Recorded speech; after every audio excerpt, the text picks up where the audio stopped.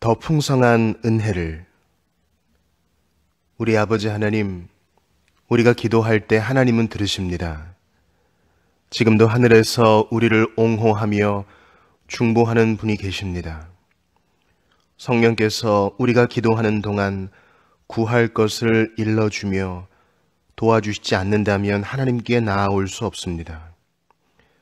바울에게 투쟁의 요건이었던 것이 우리에겐 그렇지 않기를 기도하오며 그리스도를 알아 그분을 만물 중에 으뜸으로 모시게 하소서. 우리가 다른 사람들과는 갈등에 빠져 있더라도 우리 스스로 그것을 넘어서게 하소서. 그분은 우리의 모든 것이 되시며 실로 그 모든 것 이상이십니다. 우리에게 지혜와 의와 거룩함과 구속을 이루시도록 주님을 영접합니다. 주님 밖에 있는 어떤 것도 찾지 않을 것은 주님 안에 모든 것이 있기 때문입니다. 우리 죄는 용서받았고 죄의 본성은 근절되어 완전한 의와 영원한 생명과 확실한 소망과 유동없는 반석을 갖고 있습니다. 왜 주님 이상의 것을 구해야 합니까? 주님만이 생수를 길어낼 수 있는 우물이며 주님만이 집을 지을 반석이 되심을 알면서 왜 우리 안에서 무엇을 찾으려 합니까? 오늘 이 가는 뿌리들을 밀어내고 은혜로 심기운 축복의 토양에 새로 뿌리박게 하소서. 오 구주시여, 주님을 새로이 나타내시고 조금 더 가르쳐 주시고 거룩한 신비에 조금 더 심취되도록 도와주시옵소서. 주님께로부터 영혼의 영향을 섭취하게 하시고 가지가 줄기에 붙어 있는 것 같이 주님께 붙어 있어 주님으로부터 열매 맺게 하소서. 주님 없이는 아무것도 할 수 없습니다. 간구하오니 주의 종들이 과거에 방황한 것을 용서하여 주시옵소서. 우리가 주님을 잊었다면 저희를 잊지 말아 주시고 주님을 떠나 행동했다면 그런 행동들을 용서하여 주시옵소서. 죄를 지워 주소서. 앞으로도 말이나 생각에서 살아계시는 주님과 연합한 자처럼 주님 안에서만 살도록 도와주시옵소서. 그리스도의 삶과 배치되는 그 어떤 것도 다 물리쳐 주시고 우리의 행동 하나하나가 다 그리스도를 닮을 때까지 그분께 순종하게 하여 주시옵소서. 그리스도께서 이미 다 마치신 결과로 기쁜 믿음 안에서 겸손히 하나님과 동행하도록 도우시옵소서.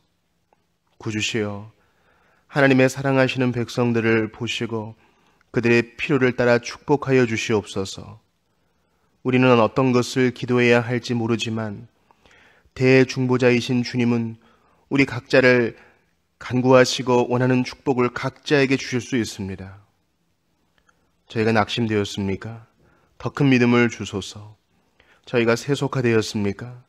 이 큰 범죄를 용서하시고 더 영적인 일로 우리를 이끌어 주시옵소서. 기뻐하면서도 기쁨의 그늘을 잊지는 않았습니까? 주님, 주님 임재로 말미암는 향긋한 향수로 그 기쁨을 달고 만나게 하여 주시옵소서. 설교는 해야 하는데 무력함을 느끼지 않습니까? 오, 우리의 능력이 되어 주소서. 우리가 일하는 주일 학교에 큰 성과가 없습니까? 오, 주님, 어떻게 가르칠지 가르쳐 주소서.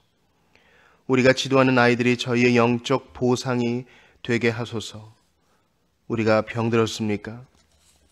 어떤 이들이 거룩하지 못하고 경건치 못하여 우리를 애태우는 사람들이 있습니까? 실로 이것은 많은 사람들에게 귀찮은 시험이온데 주님이시여 개인적인 병마와 이 큰 영적인 문제를 도와주소서. 우리가 전심으로 깊이 사랑하는 사람들이 우리 앞에서 파리하게 약해져 가지는 않습니까?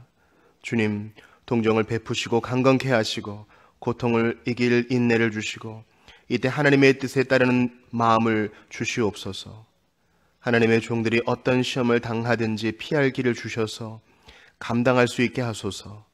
아무튼 저희의 큰 관심은 은혜 안에서 자라며 주님같이 되는 것입니다. 우리는 애쓰고 또 애쓰지만 작은 진보밖에 이루지 못합니다. 주님, 우리가 좌절감을 느끼고 있는 그 어떤 문제에서도 다 우리를 도우시옵소서. 경성함이 부족하여 배반을 당했다면 주여 용서하시고 다음번엔 도와주소서. 만약 하나님의 어떤 종이 성도로서의 확실한 간증을 잃어버리고 그래서 성도의 자격으로서는 나올 수 없다면 죄인의 모습으로라도 그리스도께 나아오게 하옵소서. 만약 사탄의 유혹에서 빠져나오려고 애쓰는 사람이 있다면 그들을 붙잡아 일으켜 주시고 빠진 사람이 있다면 나의 대적이여 나로 인하여 기뻐하지 말지어다. 나는 엎드러질지라도 일어날 것이요. 라고 말할 수 있도록 도와주시옵소서. 아직 개종하지 못한 사람들에게 은혜를 베푸시고 구원하여 주소서. 어떤 사람은 심히 무관심하며 그래서 죽었습니다. 주여 오셔서 그들을 일깨워 주소서. 우리는 볼 수 없으나 주님은 보십니다. 오, 가장 완악하고 딱딱한 사람들 중 몇몇이라도 바로 오늘 성령의 손길로 부드러워지게 하소서. 관심이 아주 없는 것도 아니어서 영생을 추구하기는 하나 계속 잘못된 길로 가는 사람들이 그들의 잘못을 보고 주님과 함께 가면서 보고 살아날 수 있게 하옵소서. 얼마나 많은 사람들이 그리스도를 만물의 으뜸으로 모시기 전에 이런저런 것들을 하고 싶어 하는지 모릅니다. 그리스도 안에서 모든 것을 발견하고 세상에서 구하는 바를 멈추게 하옵소서. 하나님은 기도를 들으시는 하나님이시고 용서의 하나님이시오니 오늘 구속자의 보혈로 인쳐지고 아버지의 이름으로 서명된 많은 속죄부를 하늘 보좌로부터 발행하여 주시옵소서. 오 주님이시여 사람들이 죄에 깊이 빠지기 전에 죽기 전에 죄에서 영원한 구원으로 그들을 구하여 주시옵소서. 하나님, 우리나라와 통치자를 축복하소서. 이 도시를 축복하소서. 고용주와 노동자 사이에 갈등이 없게 하시고 이 시민들이 관대한 마음을 갖게 하셔서 번창하게 하옵소서. 모든 사람들을 기억하시되 특별히 가난한 사람들과 고아들과 실패로 낙심된 사람들을 회복시켜 주시고 죽어가는 자들을 도우소서.